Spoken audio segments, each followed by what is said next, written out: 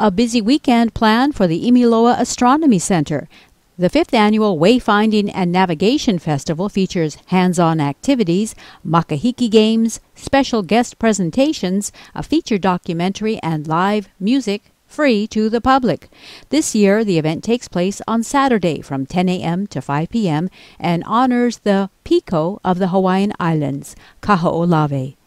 Kanaloa, the ancient name for Kaho'olawe, is a traditional center for wayfinding and navigation. Organizers say that from this piko emanated a renaissance of culture, identity, and aloha aina, one's love and deep connection for earth, sea, and sky. Big Island Video News has attended the event in years past, which is a celebration of Hawaiian heritage, culture, and traditions. Imiloa has truly become a place of, of openness, of sharing, where people from all different backgrounds come together to celebrate um, and to, to remember, but also to, to move forward the incredible um, history of this place of Hawaii. There will be some special events the day before the festival as well.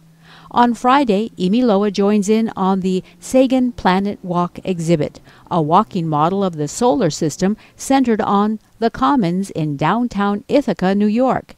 This model is one five billionth of the solar system's actual size. Both the size of the planets and the distance between them are accurately scaled and displayed.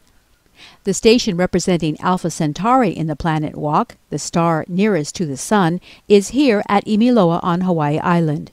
The sculpture, done by Hawaiian artist Rocky Jensen, is called Kamaile Hope, the Hawaiian name for the star. It is being unveiled on Friday. The installation makes the Planet Walk the world's largest exhibit, measuring 5,000 miles from end to end and eclipsing the previous record of 66 miles held by the artwork in the Stockholm, Sweden subway tunnels. The Alpha Centauri station has been two years in the making, a partnership of the Sciencenter, Imiloa Astronomy Center, Cornell University, the University of Hawaii, and NASA and later that evening there will be a special moon viewing at the same location.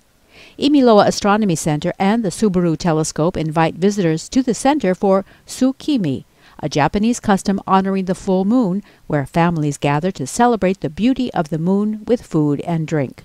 The night will include a 6 p.m. Moons of Our Solar System live sky presentation in the planetarium, followed by a presentation of moon stories and other cultural paradigms, meteorite and lunar science exhibits, and moon viewing on the Imiloa grounds, weather permitting, of course.